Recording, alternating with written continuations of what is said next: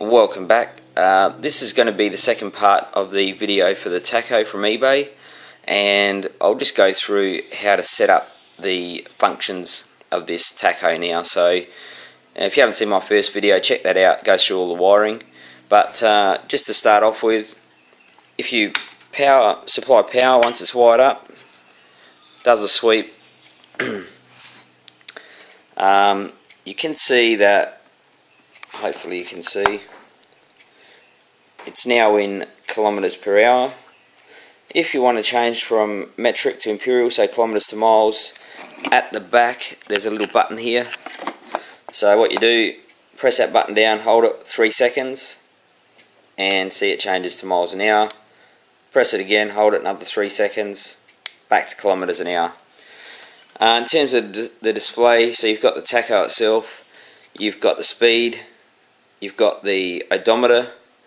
Uh, it does tell you what gear it's in down here but as you can see at the moment uh, at the top here it's saying it's in neutral. There's the fuel. And in this corner when it runs there's a little battery symbol. And that battery symbol will light up when the charge is uh, less than a certain voltage. I haven't bothered to measure it but it's probably something like less than 13 volts and that light comes up so overall, very good tacho. One thing it doesn't have is an oil light. So what you can do is what I did is I, I plugged in my oil sensor to my start button. So uh, this light here, once it starts, uh, will go out, which will represent that the oil pressure is okay. So I'll just quickly start it and you can see. So you can see the oil light went out there. If I turn it back on, there we go. Okay, so in terms of the Speedo, uh, there are five fields. Um, there are some instructions in the description. Uh, it's from China. It's really, I would say, it's written in Chinglish. Um, very hard to understand. So I'll go through uh, what I've found and how it actually works. So to get into the mode settings, turn it off. And before you turn it on, there's a button at the back so what you need to do is have that button pressed and turn it on. Um, hold the button down for five seconds and it will go into mode 1. Now the instructions talk about this mode 1 uh, being the circumference of the tyre, which is correct, but it says the range is between 50 and uh, 2600. Uh, I don't believe that's right. So I think the range is from, uh, it might be less than 50 or about 50, but it, it, I can actually get it to go up to 2,999. So let's firstly just turn this off. I'll show you how to work out the circumference. Righto, so to measure the circumference of the wheel, uh, there's a couple of ways you could do it. You could use a string, I suppose, and go around the tyre. That's a bit primitive the best way is get a tape measure or ruler and measure the diameter, the total di diameter of the tyre and in this case it's 430 mil. All you need to do then is um, calculate pi which is 3.142 roughly and it's in your calculator by the diameter. So pi d is the circumference uh, just in case you've forgotten from school or maybe you're off sick that day when you were learning about pi. So anyway, in this case, 430 times pi is going to give me the circumference which works out close enough to 1350. Restart it with the button pressed at the back. Get this into the mode 1.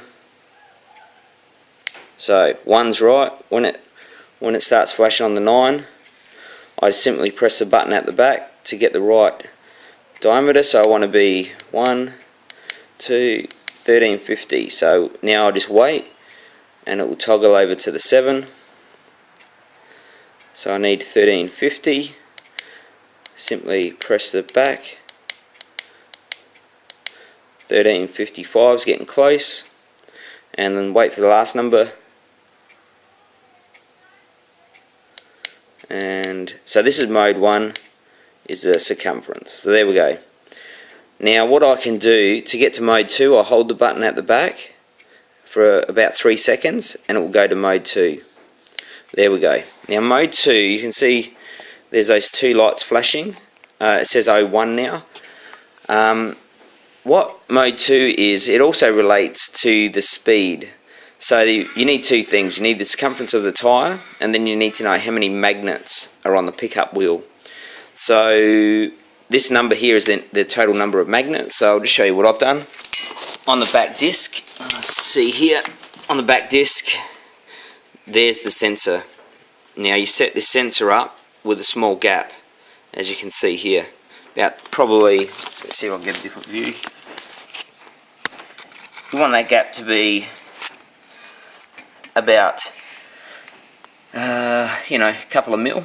So, just so you can see here, uh, just there, that's actually one of the magnets.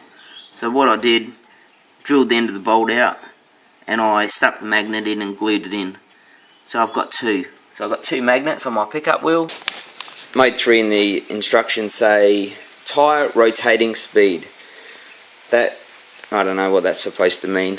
What it really is, is that's the engine speed. So, uh, it comes on one. If you've got a one cylinder, do not touch this. If you change this to something other than one, it won't go back to one again. In my case, I've got a four cylinder and I've got two coils. So for that reason, it's uh, sparking as though it's a two cylinder.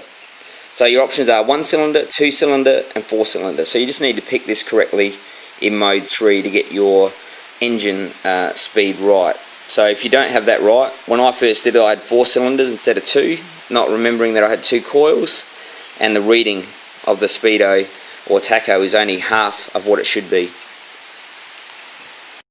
Mode 4 relates to the fuel sensor. So this one has two modes. There's option 2 or 3.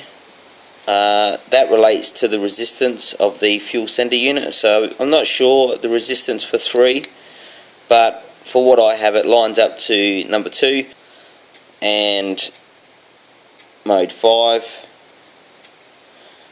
is simply to reset the odometer. So mine's still on 0 don't know why you'd ever need this, but that's what mode 5 is.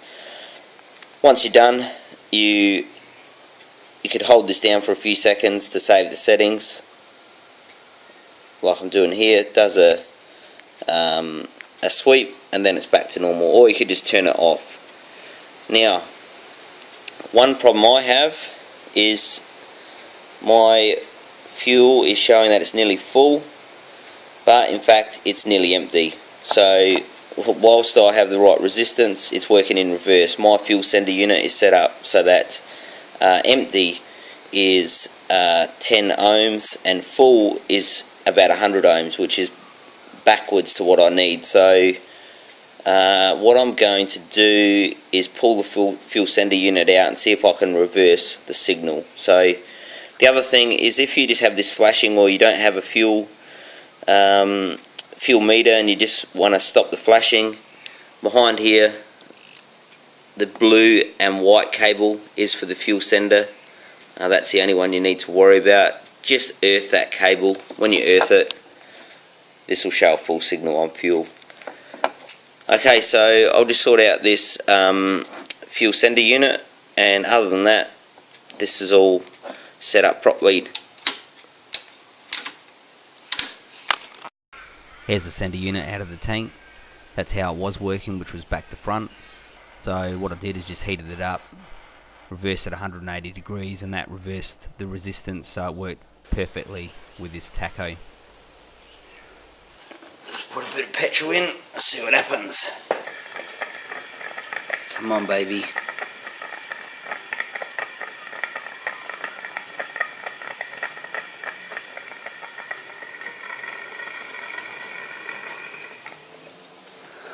Yes. There we go. Working beautifully.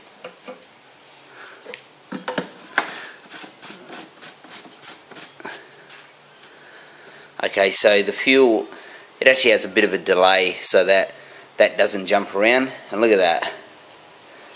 Very, very happy. So there you go guys and girls. Hopefully that's helped you set this Speedo up, or Tacho.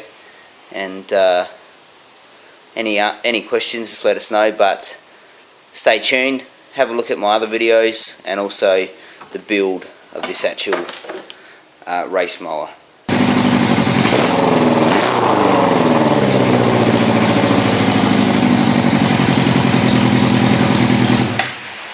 There you go. Hope that helps. Stay tuned.